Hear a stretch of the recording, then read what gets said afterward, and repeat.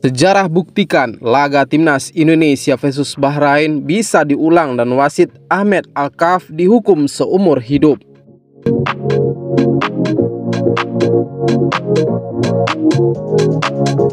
Sejarah membuktikan laga timnas Indonesia versus timnas Bahrain dapat diulang. Bahkan wasit Ahmed Alkaf bisa saja dijatuhi hukuman larangan memimpin pertandingan seumur hidup. Alkaf disorot usai laga timnas Indonesia versus Bahrain yang berakhir 2-2 pada matchday 3 grup C putaran ketiga kualifikasi Piala Dunia 2026 zona Asia.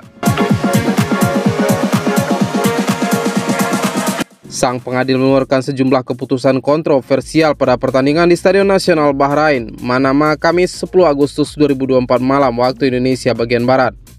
Bahrain lebih dulu unggul lewat gol tendangan bebas Mohamed Maron di menit ke-15, Indonesia lalu bangkit dan membalikan keadaan 2-1 lewat Ragnar Oratmangun dan Rafael Strikes. Sayangnya Bahrain mencuri kemenangan itu di menit-menit akhir. Marun mencocor bola di mulut gawang pada menit ke-9 injury time memaksa skor akhir 2-2. Nah, gol kedua Mahon itu membuat Alkaf jadi pesakitan. Sebab ofisial sebelumnya memberikan tambahan waktu 6 menit di akhir babak kedua. Jumlah tambahan waktu itu juga patut dipertanyakan lantaran Alkaf juga tak terlalu banyak menghentikan pertandingan.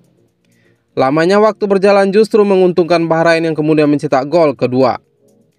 PSSI sudah memastikan akan memprotes kepemimpinan sang wasit ke AFC dan FIFA. Lalu, apakah pertandingan tersebut bisa diulang? Ada bukti sejarah yang menguatkan hal itu.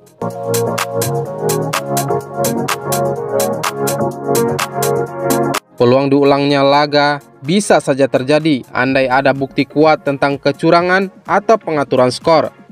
Hal itu pernah terjadi pada kualifikasi Piala Dunia 2018 antara Timnas Afrika Selatan melawan Timnas Senegal. Kala itu FIFA memutuskan agar laga diulang. Penyebabnya wasit Joseph Lapteo dinyatakan bersalah usai memberi hadiah penalti untuk Afrika Selatan.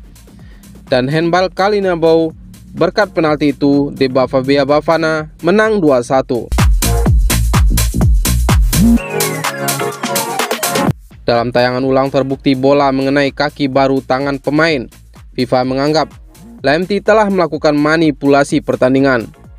Pengadil asal Ghana itu dijatuhi hukuman terlibat dalam semua aktivitas yang berkaitan dengan sepak bola, baik level nasional maupun internasional seumur hidupnya. Hukuman untuk Lamti ini dikuatkan oleh putusan pengadilan arbitrase olahraga atau CAS Laga bermasalah itu lalu diulang pada November 2017. Hasilnya Senegal menang 2-0 atas Afrika Selatan.